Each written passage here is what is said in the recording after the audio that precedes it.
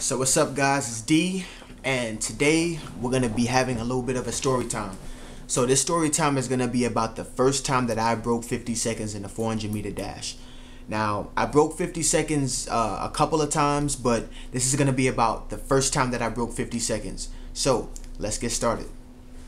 Alright, so the first time that I broke 50 seconds in a 400 meter dash was was the most amazing feeling of my life at that particular time. Um, I was struggling to break 50 seconds, and just and just to give it some context or whatever, it was my first year in college when I broke 50 seconds.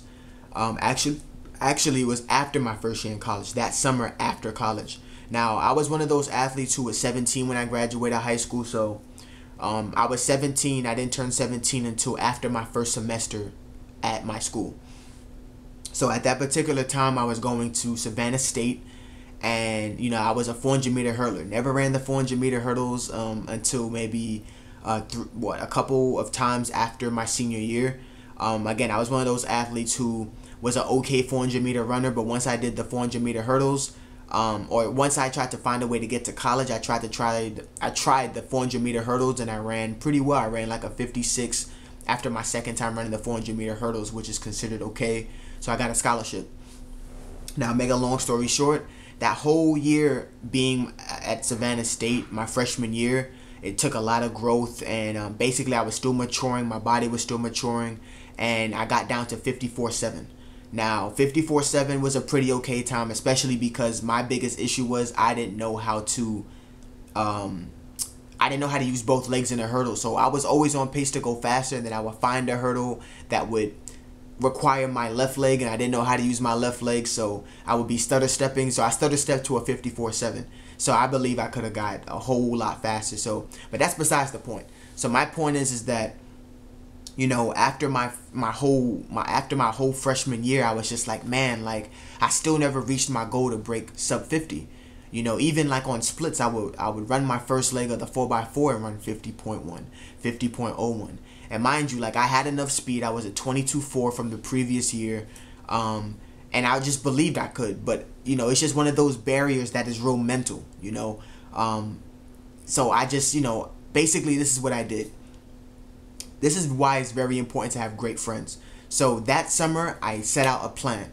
Um, I basically told myself, what are my strengths? What are my weaknesses? Well, during my time training at Savannah State at that particular time, I did no over distance work right? All I was doing was a lot of long runs. Um, the track, you know, we the track that they had it wasn't built. Um, it was under construction the whole year, so we didn't have access to a track. So basically, it was really, really difficult to really get the kind of over distance specific work that I needed in order to do what I had to do.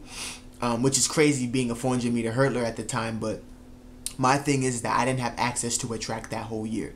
All right. And because of that, I wasn't able to do the 450s at 95% of my 400 meter max. Um, I wasn't able to do 300s to feel comfortable coming through the 400.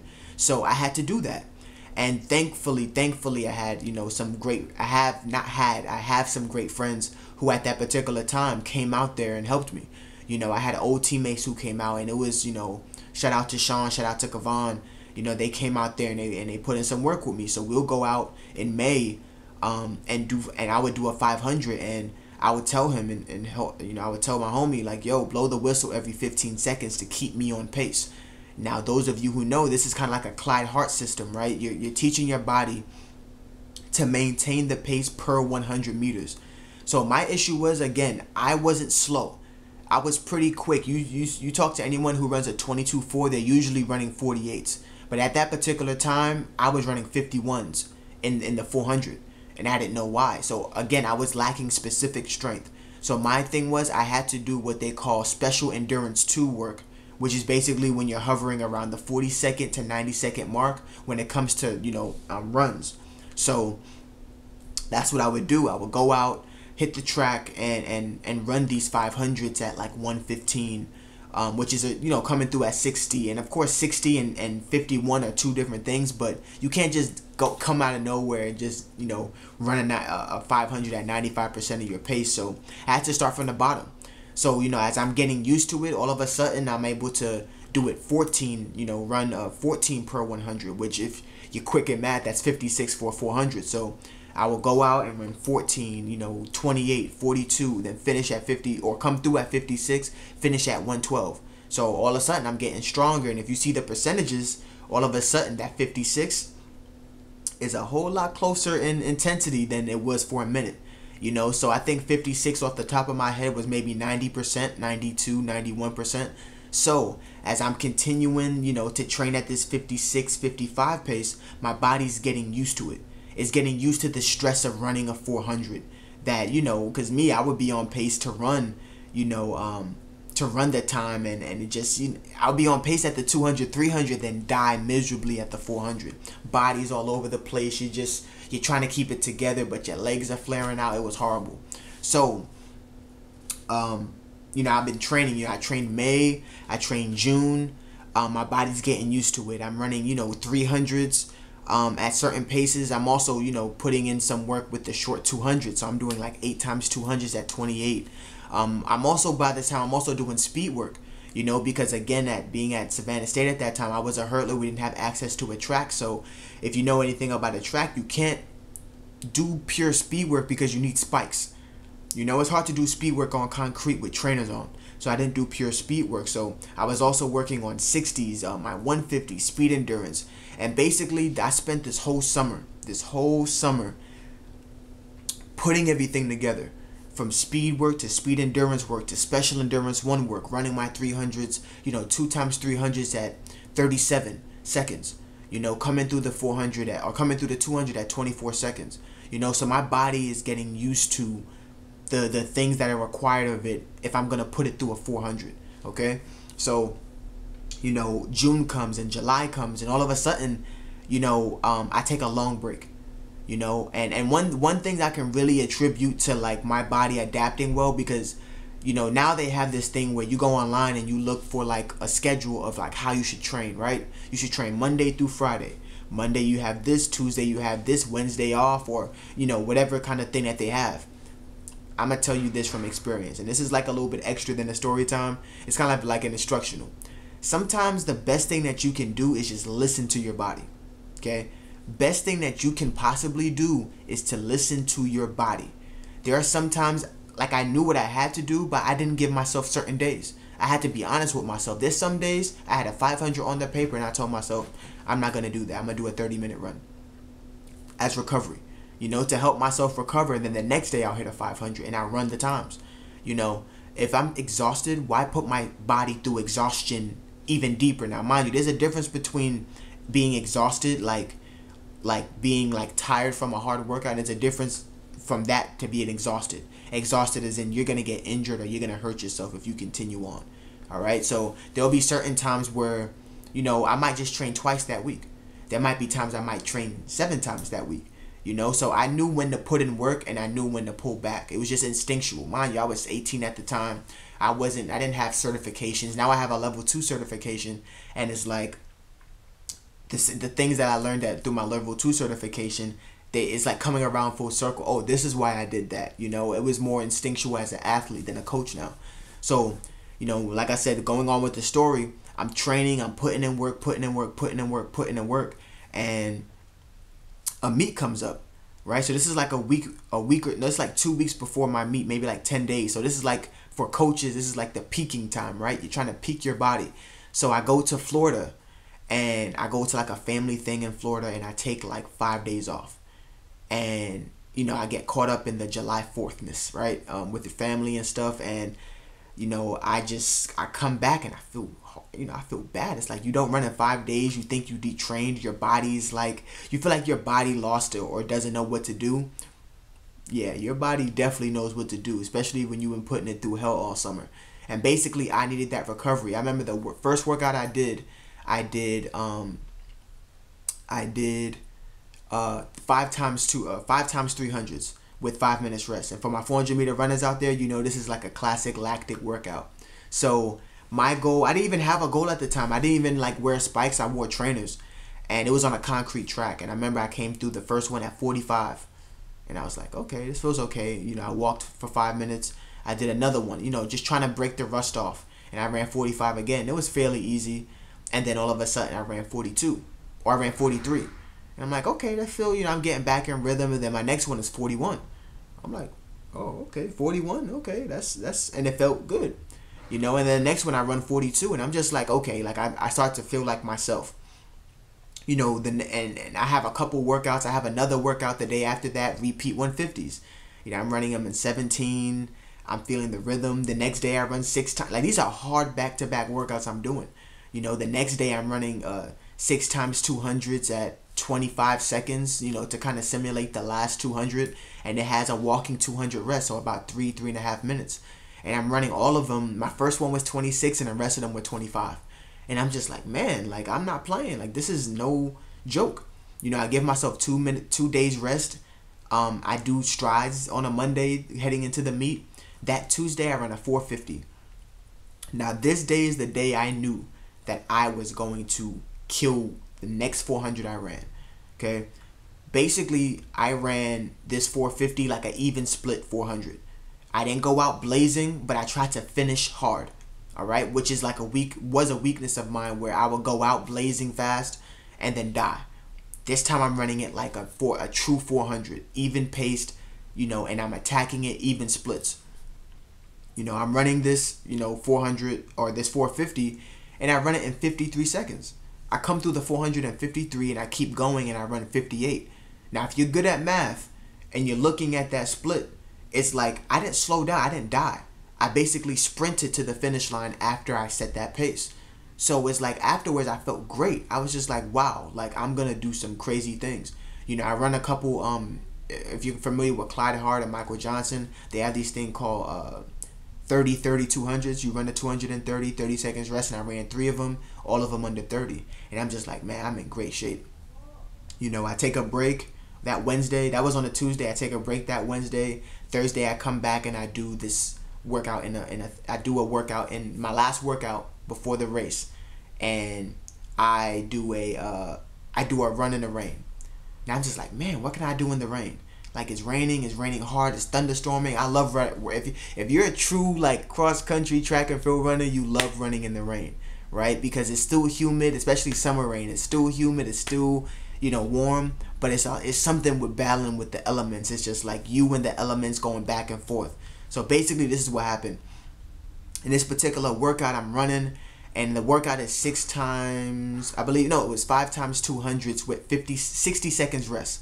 So this was like a really aggressive recovery run, but it was to test my lungs out to see to see how like if I can like continue the effort with less oxygen while I'm running, which is basically the 400 and like the later portions of the race. So basically, I was it was like a cut down. So the first one was like 30.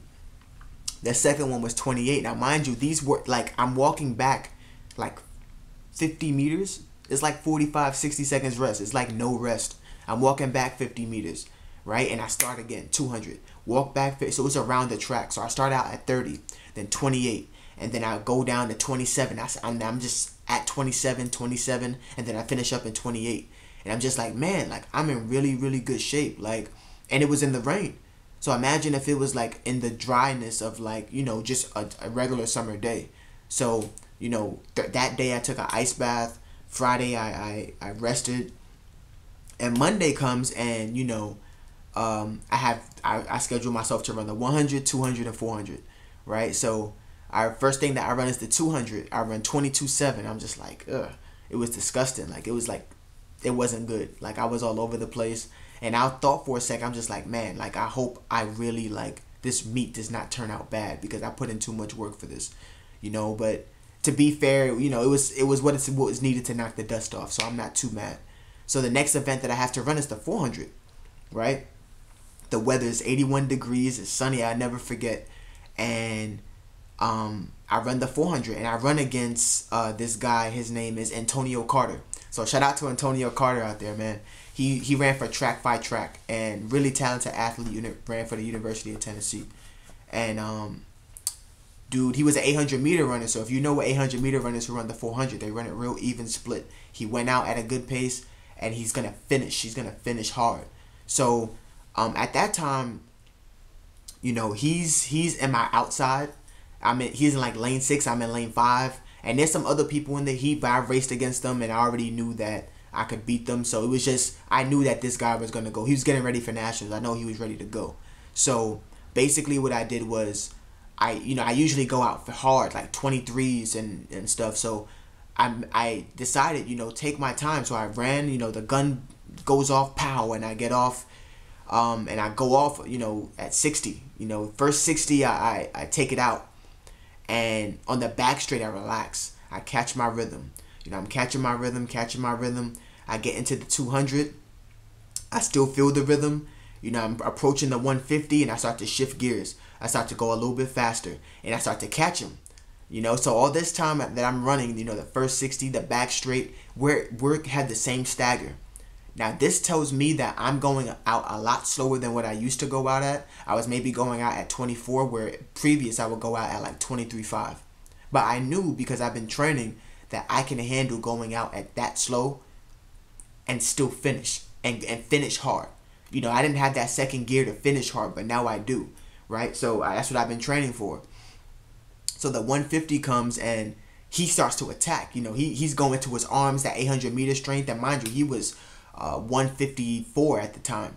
So he, you know, he had the strength to finish and, and all that stuff. And me, I, I this is my first 400 training, you know, in, in two, three months. So I just said, let's bring it, let's go. And and the 150 comes and I'm building up in the last 100. I'm giving it my all, pumping my arms, pumping my arms, pumping my arms, pumping my arms, all the way to the finish line. And me and him are fighting. And I, I'm inching up in front of him. He's coming in front of me. And then he just catches me at the line, right?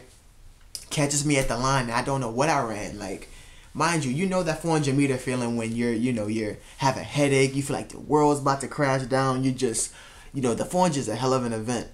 But after I finished running, I was okay. Like it was, oh, okay, I ran. I wasn't sure what I ran because I was just like, I took it out.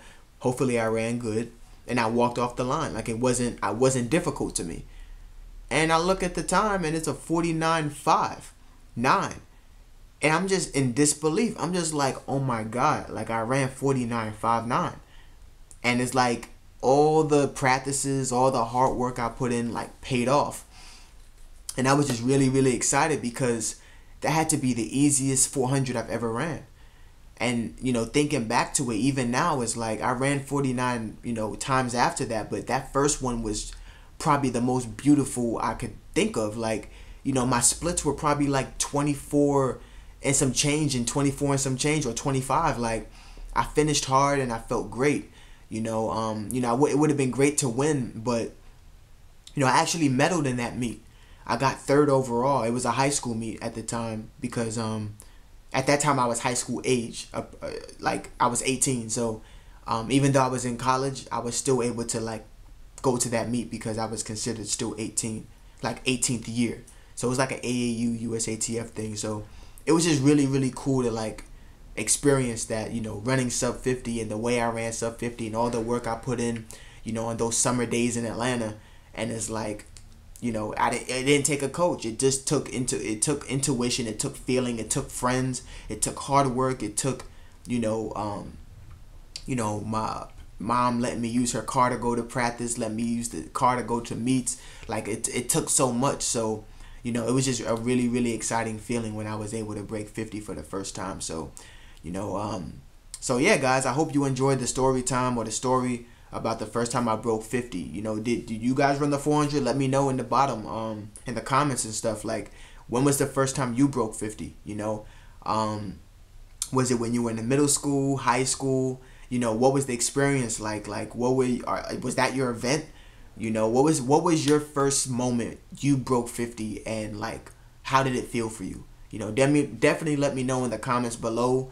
Like, comment, and subscribe. Let me know, you know, if you want to see any more videos about, you know, story times. I've I've I've run almost every event that you can think of. I, I have a wide range, so I'm thinking about doing a little bit more story times about, you know, different events that I ran uh, maybe the first time I broke, I ran 1601. A lot of people don't know that. I ran 1601 for a 5K when I was in college, uh, my first year at Savannah State. So, um, yeah, so hopefully uh, we, will get to that. And like I said, I hope you enjoyed it. Let me know in the comments about the first time you broke through any event.